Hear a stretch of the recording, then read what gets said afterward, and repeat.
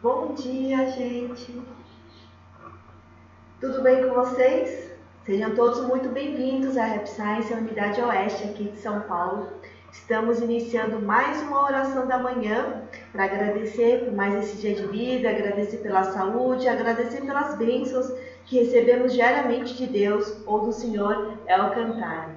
E sempre quando iniciamos a nossa oração da manhã, eu leio um trecho de um livro do mestre Okawa para que a gente possa fazer a nossa reflexão, a nossa contemplação, mas principalmente que o trecho do dia de hoje, os, os trechos do livro, possa trazer uma sabedoria para vocês, que possam te ajudar de alguma forma né, a resolver algum problema, possa esclarecer algo, algo que esteja assim em dúvida, mas, e principalmente que possa trazer uma luz no interior de vocês, ou, uma, ou palavras que tragam conforto no seu coração e para o seu espírito. O dia de hoje, o livro que eu trouxe é As Leis do Sol. E o trechinho que eu escolhi no dia de hoje, gente, consta na página 226 e diz o seguinte: Alimentar um sonho permite guiar seu plano de vida, mas esse não é o único benefício. Com um sonho, uma visão que você mantém na sua mente, vem também o poder divino e místico. A visão do sonho passa a ser do conhecimento do seu espírito guardião e dos espíritos guias no outro mundo que estão sempre procurando maneiras de proteger e guiar as pessoas deste planeta. Mas eles não podem guiar cada movimento nosso, pois isso nos tiraria a independência e o livre arbítrio. Tudo o que podem fazer é nos dar inspiração o fato de a maioria das pessoas na Terra ter apenas pensamentos divagantes sobre a própria vida, sem qualquer plano concreto, torna difícil para os espíritos guiá-las. Mas, se você tem um sonho claro, seu espírito guardião e seus espíritos guias podem ajudá-lo a encontrar maneira de realizar as coisas. É assim que você chega à verdadeira autorrealização Primeiro, alimente o sono.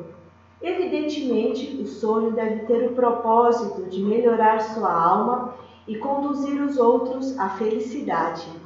Depois, visualize seu sonho e ore para que seu espírito guardião e os espíritos guias lhe dê orientação. Lhe dê orientação. No devido tempo, seu sonho se tornará realidade.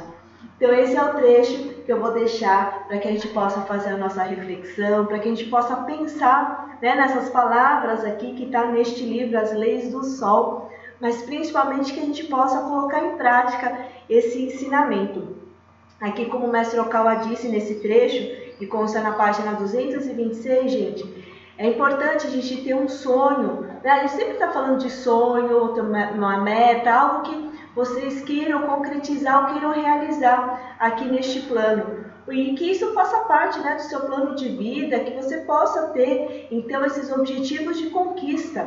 E o mais importante aqui que o mestre Okawa fala né, no livro As Leis do Sol, nesse trechinho, a importância desse sonho está muito claro né, na nossa mente, que esteja muito nítido, principalmente no seu pensamento, dentro do seu coração.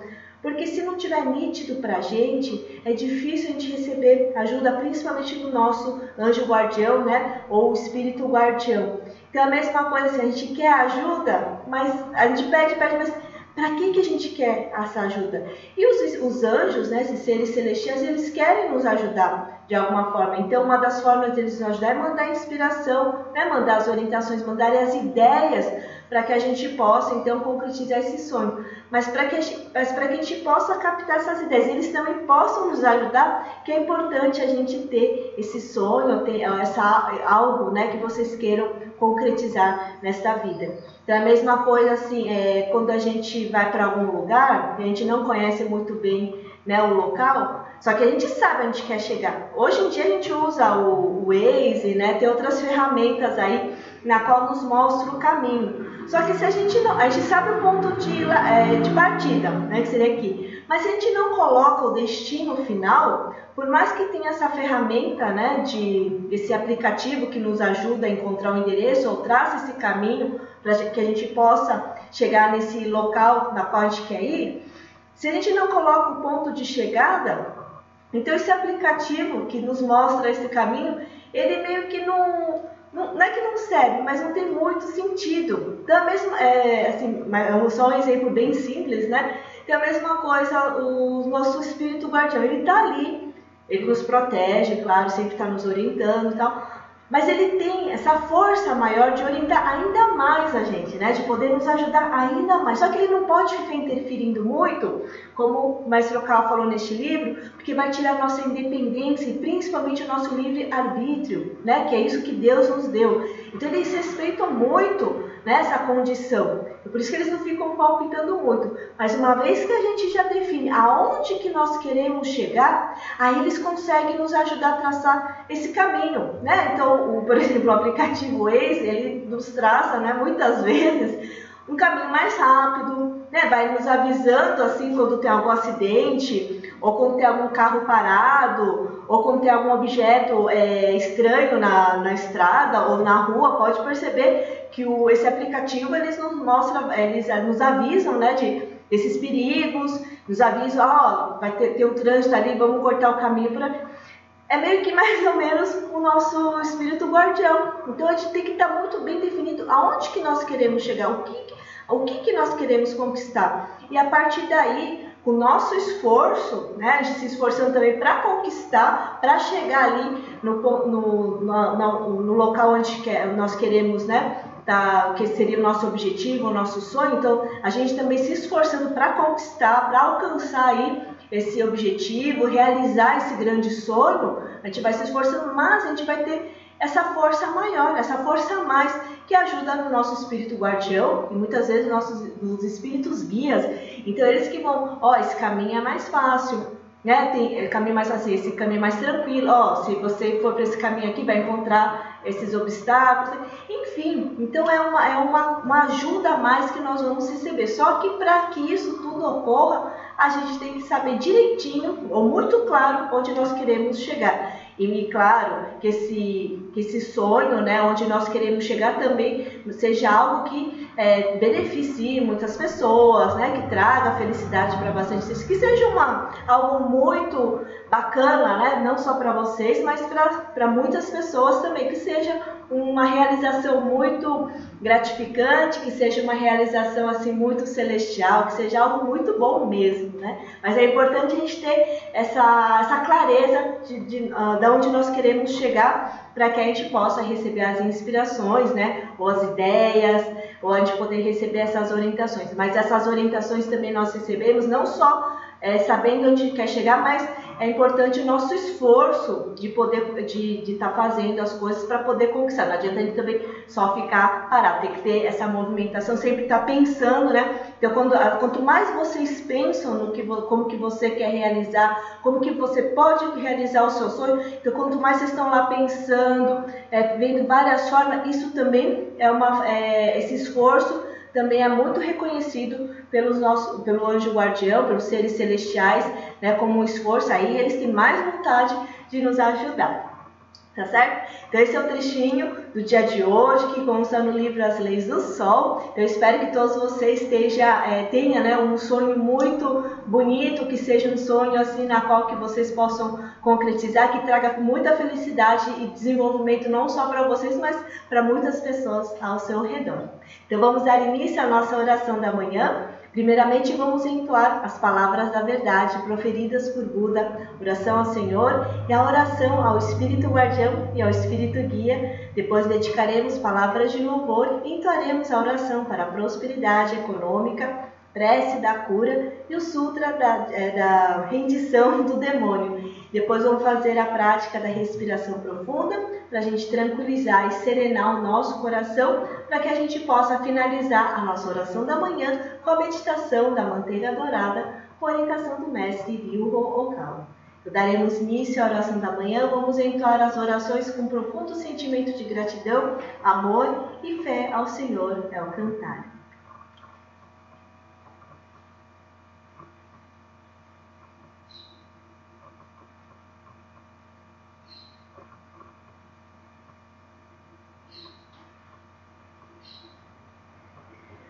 As palavras da verdade proferidas por Buda. No grande universo sempre houve a luz. A luz é a energia de Buda. Graças à energia vivem as pessoas. A energia de Buda criou a história da humanidade e será suprida eternamente. Esta luz eterna vem do mundo celestial e predomina sobre a terra. Esta é a luz celestial. Ao passar pelo prisma de Buda, manifestaram-se as sete cores do arco-íris arqueando sobre o céu. Pode-se ver aqui a misericórdia de Buda. Amarelo é a cor do ensinamento, branco é a cor da salvação, vermelho é a cor da justiça, violeta é a cor da obediência, azul é a cor do pensamento, verde é a cor da harmonia, prata é a cor do progresso. As sete cores se ajudam mutuamente e surge então o reino búdico. O reino búdico brilha vivamente com a junção dos bodhisattvas. Este é o reino do amor ou o reino da misericórdia. Este é o reino da sabedoria ou o reino do ensinamento. Especialmente é o reino das almas que vivem em paz. As almas originais são os filhos de Buda. Os filhos de Buda se tornaram seres humanos verdadeiros. Os seres humanos verdadeiros possuem espiritualidade. Os espíritos são poderes imortais. Os espíritos são forças imortais. Os espíritos são entidades reais. Os corpos físicos são as sombras dos espíritos. Isto é, vocês são os barcos que navegam abaixo o grande rio. O grande rio é o símbolo do curso das vidas. Cada qual navega rio abaixo como um pequeno barco. Portanto, você precisa de um barqueiro. Sem ter um próprio barqueiro, com certeza encalhará. O barqueiro é, na verdade, o seu coração. Se o seu coração comete um erro, o barco numa grande rocha se despedaçará. Assim você precisa também de uma vara de bambu. Esta vara de bambu são as palavras da verdade. Ao descer uma forte correnteza, você precisa empunhá-la assim conseguirá mudar o seu curso. As palavras da verdade significam o ensinamento de Buda. Buda se iluminou e proferiu as palavras da verdade, e o ensinamento de Buda se tornou uma mina de ouro. Esta mina de ouro sugere vários ensinamentos. Esta é outra expressão da verdade de Buda ela ilumina os seus dias, ou, em outras palavras, são os frutos da misericórdia de Buda. Todos vocês, ouçam-me aqui e agora. Nunca se percam no caminho, agora e para sempre. A mão guia já foi acenada. Por favor, sigam esta alva mão e avancem sempre, sempre retos. Suas vidas não se limitam somente a este mundo. Elas possuem três aspectos: o passado, o presente e o futuro. Seus passados já se foram, ainda assim, seus erros permanecerão em seus corações. Esta é a razão pela qual vocês devem compreender os outros e quanto a si mesmos devem refletir sobre suas ações. Vocês e os outros não são distintos. Ao contrário, ambos são filhos de Buda, irmãos e irmãs. De hora em diante, amem-se mutuamente, nutram-se mutuamente, e é hora de se perdoarem mutuamente. Esta é a lei eterna que permeia o presente e o futuro. Sim, de fato, é a luz na noite de trevas. A noite de trevas deste mundo é inferno, e assim é também o outro mundo. Com a nossa descida a este mundo, o sol da verdade está programado para acender. Agora estamos vendo o sol nascente. Ele lançará luz sobre o futuro para convidar os tristes ao reino búdico. Agora aqui eu comando. Não deverá haver conflito neste mundo. Não deverá haver desconfiança neste mundo. Não deverá haver crime neste mundo. Não deverá haver mau espírito neste mundo. Não deverá haver o demônio no próximo mundo. Somente o mundo ideal, a utopia, deverá ser concretizada. Todas as pessoas amam uns aos outros, vivem em harmonia, acreditam uns nos outros Eis o mundo da utopia. Todos nós podemos ser a luz de Bodhisattvas. Creiam que a luz é real, creiam que o amor é real, creiam que a verdade é real. São esses os fatos a serem transmitidos.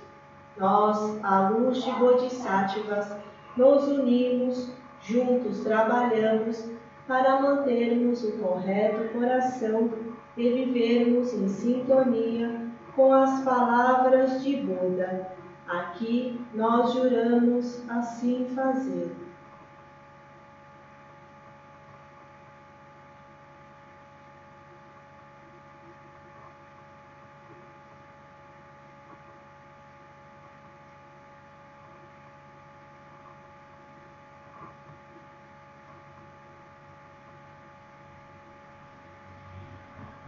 Oração ao Senhor. Ó Senhor, é o cantar, fonte de todas as luzes, de todas as forças, de todas as sabedorias, de todos os amores. Dai-nos a luz, dai-nos a força, dai-nos a sabedoria, dai-nos o amor. Ó Senhor, nosso Pai, Protegei a terra, planeta do amor. Protegei-nos de todos os males. Dai-nos o futuro. Ó Senhor, muito obrigado por nos dar a luz. Agradecemos de coração.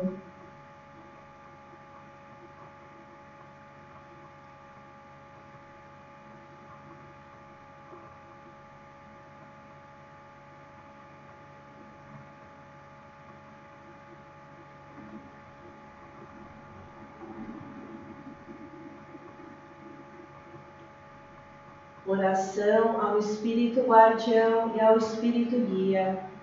Vós que estais dentro da minha alma, fonte da minha vida, luz da minha esperança, base da minha sabedoria, escudo da coragem minha.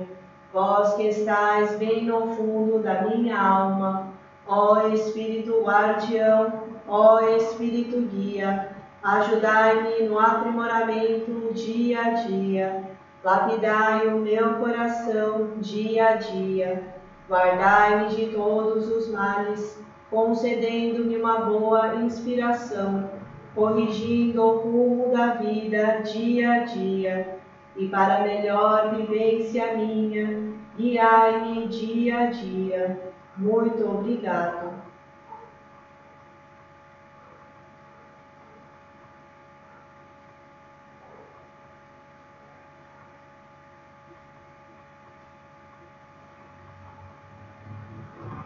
Buda primordial do grande universo, o mais alto Deus da Terra, Deus do amor, que criou até mesmo os povos do espaço cósmico, Senhor El Cantar, Mestre Ryuho Okawa, nós agradecemos de coração pela luz e amor que nos concede diariamente.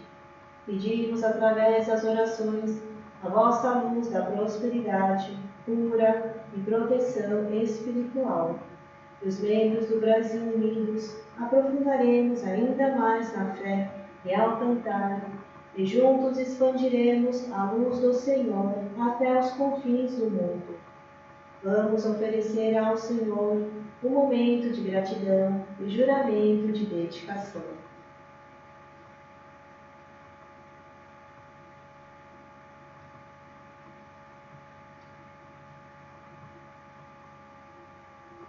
Ó oh, Senhor, muito obrigado.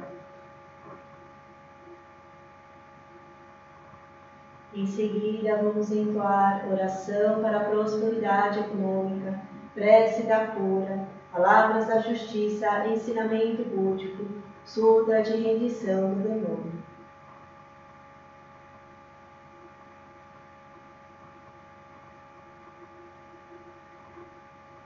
Oração para a prosperidade econômica. Ó Senhor, vós sois o guia, sois a luz que ilumina o futuro. Ó Senhor, vós sois onipotente, a vossa sabedoria faz até mesmo a economia prosperar e a nova civilização construir. Ó Senhor, permiti que eu ajude no vosso trabalho. Abre a mim o caminho da prosperidade econômica. Mostrai-me o caminho da glória. Convidai-me para o caminho do sucesso. Muito obrigado por ouvirdes a minha oração.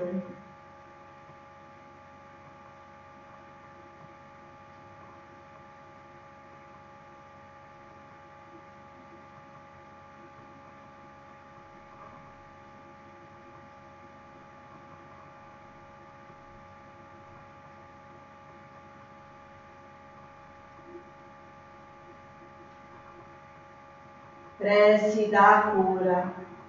Ó Senhor, é o cantar, sob vosso nome nada é impossível. Todos os espíritos do mal temem o Senhor. Diante da vossa luz, todos os focos de doenças só têm a desaparecer. Ó Senhor, transformai a vossa luz em amor e curai as doenças. Em vós eu creio. Ó onisciente e onipotente Senhor, Lamu, Tote, Liente Alcraut, Ofeares, Hermes, Gautama, Siddhartha, ó El Cantare, onisciente e onipotente Senhor, perdoai os nossos pecados, dai-nos a força a coragem e a esperança para viver.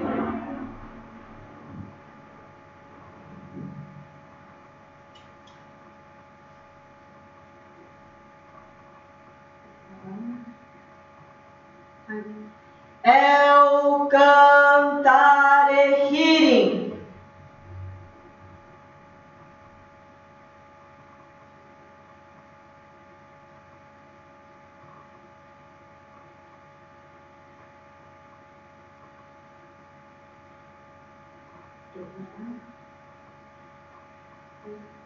É o cantar e hearing.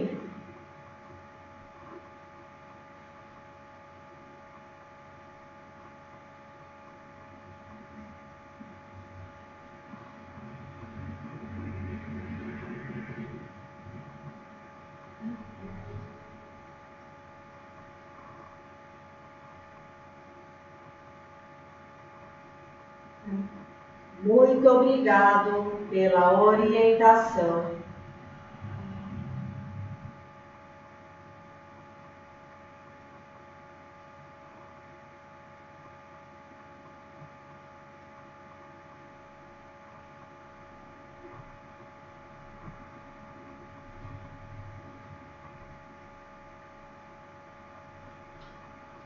Palavras da Justiça, ensinamento búdico Sutra de rendição do demônio. A propagação do Dharma búdico, os demônios que obstruírem não devem ser perdoados. Caluniar Buda, seu Dharma e seu Sangha é crime dos mais hediondos. Saibam que ao praticarem-no, estarão tendo a última encarnação humana. O pior dos crimes deste mundo não se compara à ofensa aos três tesouros. A quebra da harmonia do Sangha é um crime cuja queda é inevitável ao inferno do grito agonizante Buda é a luz deste mundo, portanto, é a vida do universo. Não há como escapar ao se opor à sabedoria cósmica. De hora em diante, os demônios devem ser abatidos com a espada dármica. Os demônios da terra devem ser combatidos e expulsos. Os demônios do subterrâneo devem ser aniquilados não é possível que não conheçam quão poderoso é a força dármica de Buda. Embora tenham pensamentos malignos, já foram seres humanos originalmente. Tendo natureza búdica no seu interior, deveriam saber o que é a misericórdia de Buda. De hora em diante, o mal que obstruir o Dharma de Nyorai não será perdoado neste mundo. Será brandida a espada de redição do demônio e demolido o último dos males.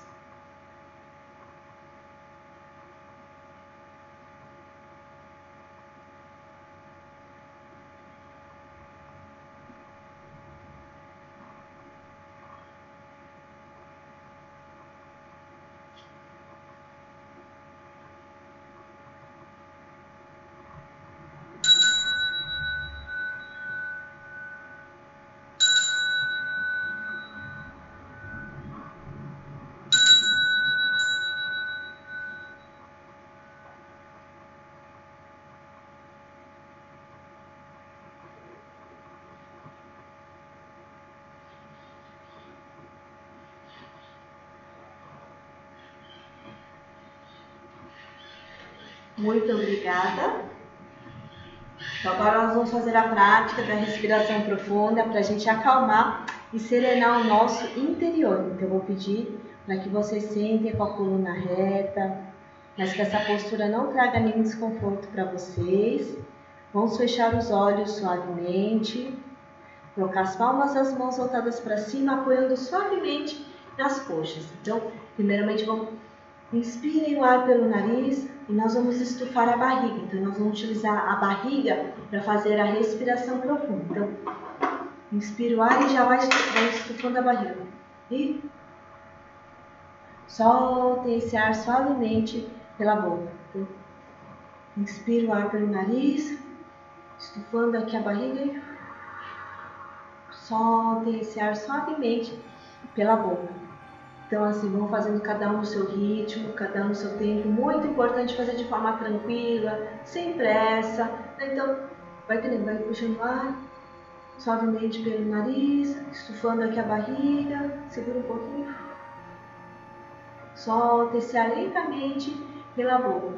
Ao fazer a prática né, dessa respiração profunda, vocês podem estar visualizando e mentalizando a luz né, que vai fluindo para o seu interior. Então vai, vai visualizando mesmo, vai mentalizando que a luz dourada vai entrando aqui pela sua cabeça, através das palmas das suas mãos, né? E essa luz vai entrando no seu corpo, vai circulando aqui no seu interior, e essa luz está dissolvendo, né? tá eliminando todos os seus pensamentos negativos, todas as suas preocupações, seu cansaço, aborrecimentos, né? estresse, medos, preocupações, sofrimentos, tristeza, é, raiva, ressentimentos, decepções. Então, tudo que for negativo, tudo que for pesado, tudo que está te incomodando no seu interior, que está tá tirando a sua harmonia, está tirando a sua paz, então mentalize profundamente a luz fluindo, a luz está fluindo e está eliminando todos esses pensamentos negativos, esses sentimentos pesados. Ó. Soltem suavemente pela boca. Então vamos fazer essa prática por alguns instantes, cada um no seu ritmo, cada um no seu tempo, de forma bem devagar, tranquila. Ah, e logo em seguida nós entramos então com a meditação da manteiga dourada, a conectação do mestre Bilho Vocal. Então, vamos fazendo essa prática da respiração profunda, para a gente já ir acalmando e serenando o nosso interior.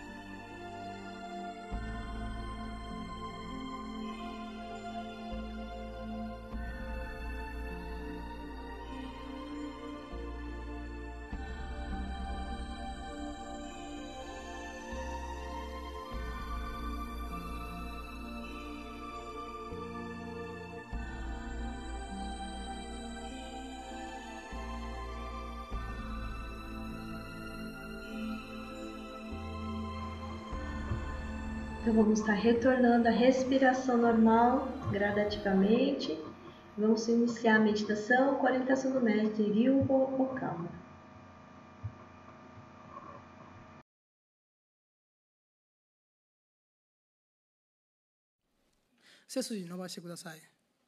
Deixe a coluna ereta. Feche levemente os olhos. Feche de leve. Acima da cabeça, 金色のバター金色です.ねバター Imagine が乗っていると que há 考えてください manteiga dourada. このバターは Essa manteiga 神の光で満たされています está repleta de luz de Deus. このバターが Ela vai 次第次第に se derretendo 溶けていきま aos す poucos. 皆さんの Ela se derrete 真理への情熱 aos poucos この熱意によって com こ seu の entusiasmo バターが溶けていきます com relação à verdade.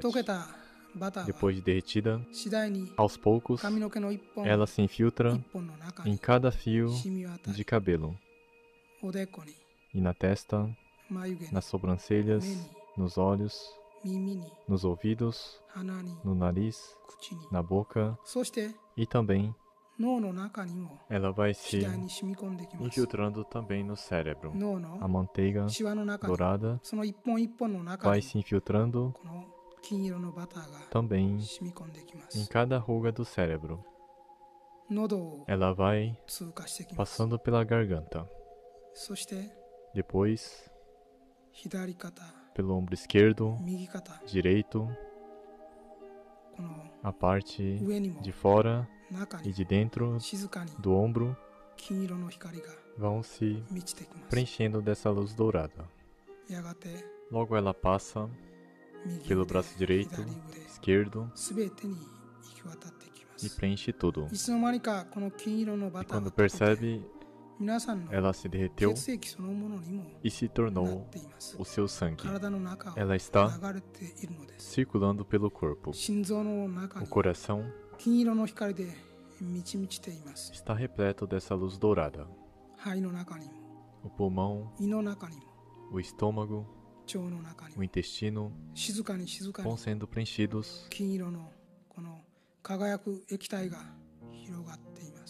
por esse líquido dourado. Logo a luz vai do peito para a barriga e da barriga, aos poucos, circula para as coxas. E então ela flui para a ponta do dedo do pé direito e do esquerdo.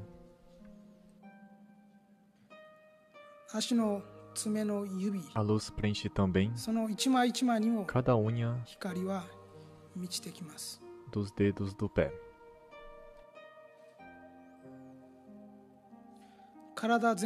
Todo o corpo está agora brilhando dourado. Está preenchido de energia dourada, tanto por dentro quanto por fora. Fique banhado por um tempo nessa luz dourada.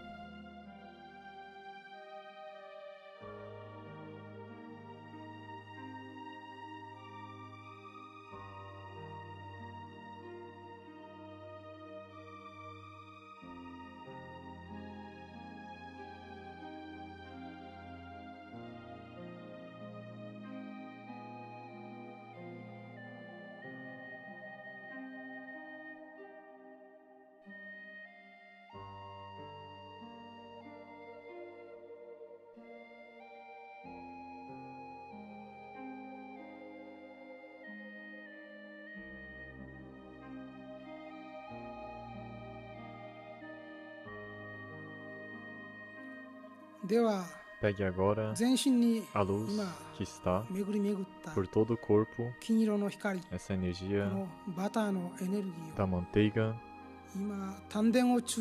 e concentre-a no baixo ventre, abaixo do umbigo. As mulheres podem imaginar como um feto que se aloja na barriga. Imagine uma esfera brilhante se formando assim, na região centrada no baixo ventre. A luz está se concentrando nessa bola. Tente concentrar a luz.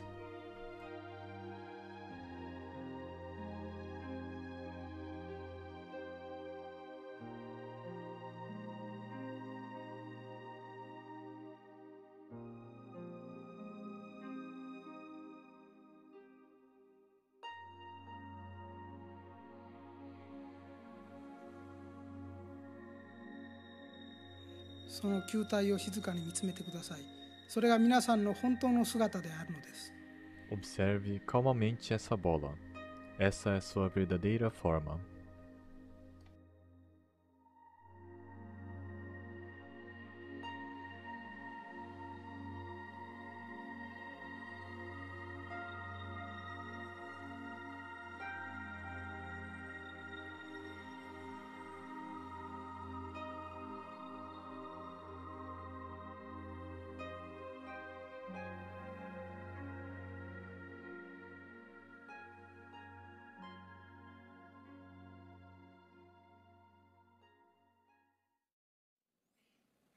はい静かに目を開けてください Abra os olhos lentamente.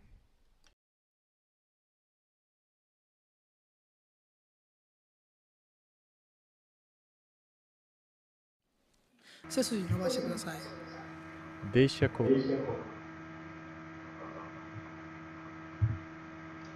Como que foi a meditação, gente? Espero que tenham conseguido recarregar, reenergizar o interior de vocês, que a meditação tenha te proporcionado uma paz espiritual, que tenha te proporcionado tranquilidade e serenidade no seu coração. Então, a gente está encerrando a oração da manhã. No dia de hoje, eu trouxe um trechinho do livro As Leis do Sol, que está na página 226, na qual fala o quanto que é importante a gente sempre alimentar um sono, né? A gente alimentar esse nosso desejo, essa né, nossa meta, algo que vocês querem concretizar né, neste plano e que a gente e que seja um guia, né, para é, poder orientar aí seu plano de vida, mas que não seja só você seja o único bene- tenha um único benefício, mas que possa trazer também felicidade para as outras pessoas, possa trazer aí desenvolvimento, progresso, que seja muito boa a concretização do seu sonho. E é importante a gente sempre ter essa visão do nosso sonho que a gente quer conquistar sempre na nossa mente, no nosso coração, para que a gente possa receber ajuda do nosso anjo guardião. Nosso anjo guardião ele quer, ele está constantemente querendo nos ajudar, ele está nos protegendo, orientando, só que ele quer fazer mais por nós. Principalmente fazer com que a gente possa concretizar não só o nosso plano de vida, que dentro do nosso plano de vida a gente tem uma série de sonhos, uma série de realizações né, que estão contidas, né? Então eles, eles querem nos ajudar nessas realizações. Só que a gente tem que estar muito claro o que a gente quer, a gente tem que estar muito definido o nosso objetivo, o que, que nós queremos atingir. Então a gente não pode ficar com pensamentos assim divagantes, sabe? Os pensamentos assim soltos. A gente tem que estar bem focado, tem que estar muito nítido o que a gente quer para que eles possam entender, ah, quer isso, quer concretizar. Aí assim eles vão conseguir nos ajudar não só enviando as inspirações, as ideias, mas eles também podem encontrar pessoas que podem nos ajudar. Né? Então são diversas as maneiras que eles podem nos, eh, nos ajudar a estender a sombra, só que a gente tem que estar muito nítido, porque senão eles não vão entender como que podem nos ajudar. Então aquele exemplo, a gente sabe o ponto de partida, mas temos que saber o ponto de chegada, para que a gente aí traçar esse caminho e, de, e dentro desse caminho eles vão nos, nos, guiar da melhor forma possível para a gente chegar ali no ponto onde nós queremos é, chegar, é, tá, tá o nosso sonho, né? onde a gente quer ali concretizar o nosso gol. Né? Então é muito importante estar ali, é, definir muito claro onde que nós queremos chegar. Então, para aprofundar um pouquinho mais sobre esse assunto, eu recomendo a leitura do livro As Leis do Sol, que está então na página 226, joia? Então, a gente vai estar encerrando a nossa oração da manhã. Muito obrigada pela participação de todos, muito obrigada sempre pelo apoio e suporte de todos vocês. Que vocês tenham um excelente dia, que seja um dia com muita luz, com muita proteção para todos, para a família de vocês. E eu vejo vocês então amanhã, às 9 horas, para fazermos juntos a nossa oração da manhã. Muito obrigada, gente.